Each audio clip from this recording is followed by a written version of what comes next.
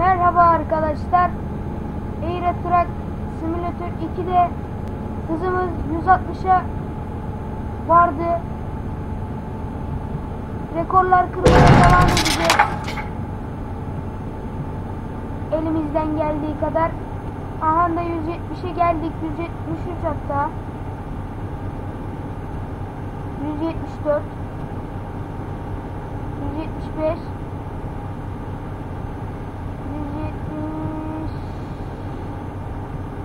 Oba.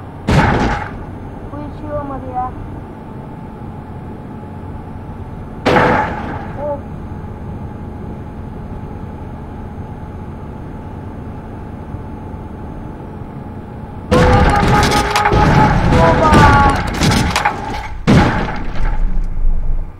Neyse arkadaşlar gördüğünüz gibi kırdık rekoru.